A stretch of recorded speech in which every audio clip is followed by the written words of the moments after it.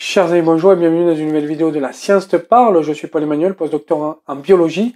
Et aujourd'hui, je souhaite te parler du cas de Science et Vie. C'est une actualité. Aujourd'hui, on a appris que Science et Vie est mort. Ou presque. En tout cas, il n'y a plus de journalistes, je crois qu'il en reste qu'un.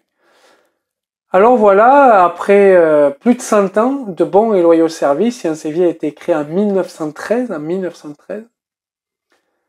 Après 100 ans de bons et loyaux services, une rédaction s'en va un journal meurt. Je vais pas dire dans l'indifférence, mais enfin dans une quasi-indifférence, les médias parlé, mais le public n'a pas beaucoup réagi. Et la question qui va se poser aujourd'hui, et c'est une question assez terrible en période de Covid, en période de pandémie mondiale, c'est quel va être l'avenir, quel va être l'avenir de la vulgarisation scientifique? Alors bien sûr, euh, vous avez un certain nombre de vidéastes qui font de la vulgarisation, pas tous d'ailleurs scientifiques.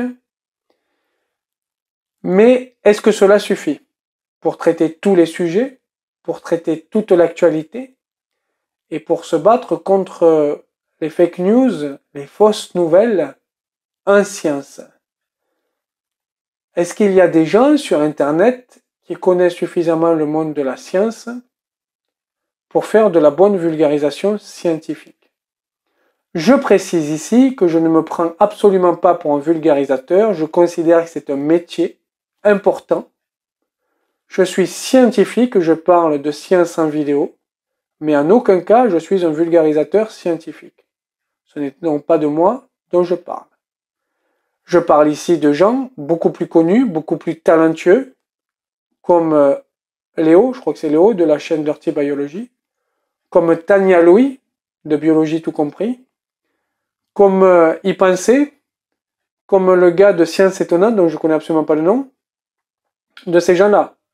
Eux font de la vulgarisation scientifique. On voit que des quatre, Science Étonnante est toujours dans la recherche, et Tania Louis a une thèse. Les autres ne le sont pas. Quel est donc l'avenir de la vulgarisation scientifique à une période où une pandémie mondiale frappe et à une période où sur Internet on a de plus en plus de fausses nouvelles qui se diffusent?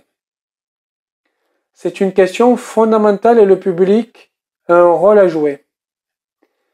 Il a un rôle à jouer en sélectionnant les contenus de qualité, en diffusant les contenus de qualité et en faisant montre aussi de reviewing comme on le ferait pour un papier scientifique en ce qui concerne les vidéos, les articles de blog qui peuvent être postés sur Internet. Ça, c'est extrêmement important. Critiquer, critiquer, critiquer, critiquer, c'est extrêmement important. Parler de science sur Internet, c'est nécessaire. Parler de science dans une presse papier, ça l'est aussi. Pour quelle raison? Parce qu'en général, le papier est plus fiable qu'Internet. Lorsque vous avez des journalistes indépendants, c'est important, qui prennent du temps à faire des articles de qualité, à interviewer des scientifiques, à se rendre sur place, à aller voir des labos de recherche, etc. Ceci est une marque de fiabilité de ce que vous avez lire. Et donc, vous savez que l'information est vérifiée, est fiable est le terme important, et que donc vous pouvez euh, faire confiance à ça. Bien sûr, vous pouvez vérifier toujours à côté, il le faut, mais faire confiance à ça. Science Vie, 1913, on avait confiance en Science Vie. Je parlerai plus en détail dans une vidéo de mon rapport à Science et Vie et euh, de quelques petits trucs que je peux aussi reprocher à Science Vie, mais ce sera aussi une vidéo sur le journalisme scientifique que je prendrai Science Vie comme exemple.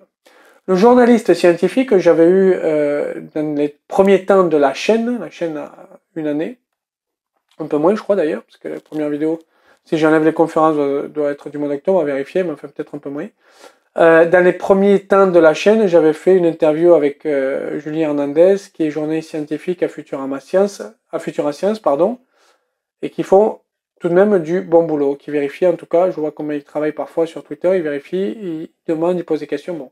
Ça, c'est nécessaire, c'est nécessaire. Le problème, c'est que si on est dans une logique de profit, rapide, c'est un peu le problème. Et le problème aussi qu'il y a, c'est qu'il faut avoir des titres accrocheurs sur Internet, et parfois, je vois que euh, certains journaux, euh, Science et Vie, maintenant, de plus en plus sur le net, ou même Science Avenir, etc., vont regarder les titres de certaines publications qui sont pré-print et vous lancer une bombe euh, comme ça, sans, sans recul, sans réfléchir, sans chercher parfois ailleurs aussi. C'est un peu le problème. Et on voit que ces rédactions sont en train de mourir, si ça n'est déjà morte pour Science et Vie, et quasi morte, il me semble, pour la recherche qui manque de fonds, enfin le magazine de recherche qui manque de fonds, etc.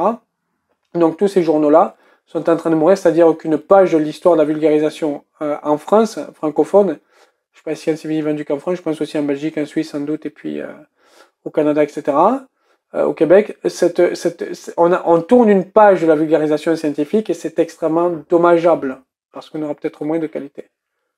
Donc réfléchissez sur la qualité que vous voulez, réfléchissez sur l'information que vous voulez, soyez toujours dans la recherche et euh, peut-être que c'est à nous aussi scientifiques à créer des blogs, peut-être c'est à nous aussi scientifiques à créer des chaînes plus visibles, je ne sais pas. Mais voilà, cette vidéo, c'est juste pour euh, pleurer, vraiment, à la fin de Science et Vie.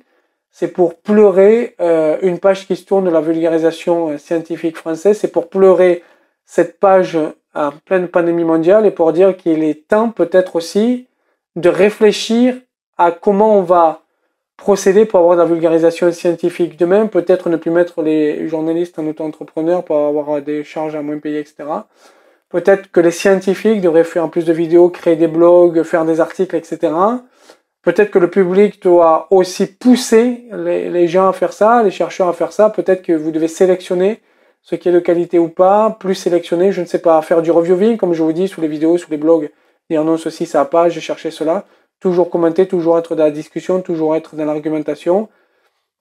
Et peut-être qu'on pourra créer quelque chose de nouveau, dans, dans, en tout cas sur Internet, parce que papier, ça coûterait trop cher euh, de le faire directement, mais sur Internet, de vulgarisation. Voilà, alors la vidéo, c'est de la réflexion en fait, c'est une vidéo de réflexion, j'ai pas trop d'informations à donner, c'est une vidéo de réflexion, je souhaite que vous me disiez ce que vous en pensez. En commentaire, diffusez cette vidéo, toujours pareil, likez, partagez. Et surtout mettez la petite cloche parce que vous êtes nombreux à me suivre, mais j'ai deux fois moins de vues sur la vidéo que de gens qui me suivent. Je vous remercie, je vous dis à très bientôt, au revoir.